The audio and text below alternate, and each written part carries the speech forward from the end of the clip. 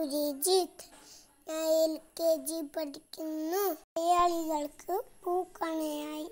ഓണമെത്തി എന്താണ് ഓണത്തിന്റെ പ്രത്യേക അറിയാമോ? ഓണം നമ്മുടെ ദേശോത്സവമാണ് പണ്ട് നമ്മുടെ നാട്ടിൽ ചക്രവർത്തിയായിരുന്നു മഹാബലി അദ്ദേഹം നമ്മളെ കാണാൻ വരുന്ന ദിവസമാണ് ഇത്. അന്ന് എല്ലാ വീട്ടിലും പൂക്കളം ഒരുക്കും. സദ്യ ഉണ്ടാക്കും.